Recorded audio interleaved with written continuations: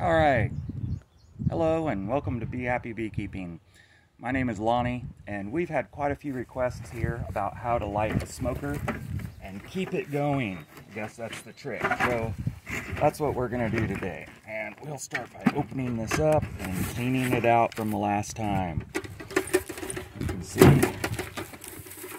a lot of ash in here. You want to make sure it's out. Don't start your yard on fire. Again, all right, we start with paper. I use old paper, scrap paper. This actually came from the pharmacy. I like to hold it down in the smoker a little bit because it's windy. And I'm just gonna get that paper down in there. Just get it lit on fire really good. Now you want to be careful because these flames can really come out of here.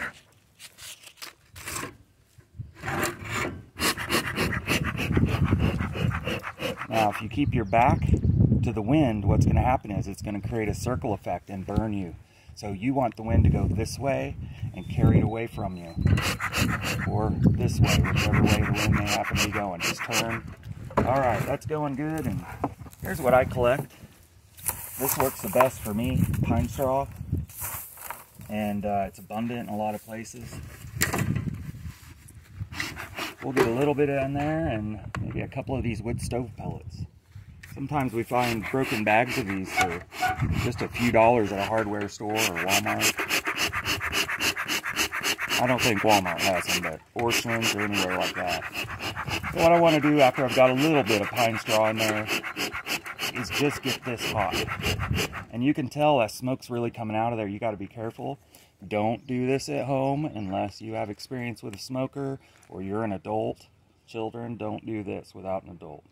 So once you get this pumping and you saw the smoke was heavy, now it's on fire. So we have a hot coal in there. Now we can put our pine straw in there and it's gonna go all day. And I don't have to worry about if I walk off for 30 minutes, is it gonna go out? So we've got some dry pine straw in there and I'll put a few of these pellets in just to help hold the coal. And then I'll continue to put in pine straw. And I kind of like to just get a handful, kind of fold it in half, and bunch it down in there. And then it's been really dry, and this is gonna burn really hot. Bees don't like hot smoke. You can tell it's still going good. So what I have over here is a sprayer and some pine straw that I sprayed earlier with water. I'll just go over it a little bit. It's just something I like to do. You don't have to do this. And I like to put that in the top. And that's going to give the bees some nice cool smoke. If you want to make bees mad, smoke them with hot smoke. And you can tell by their response pretty quickly. Okay, this smoker should run for, we'll probably use it till refuel around, I would guess 3, 4 o'clock, but we'll be working and using it all day as well. If you're not using it a lot, just here and there, it's going to last longer.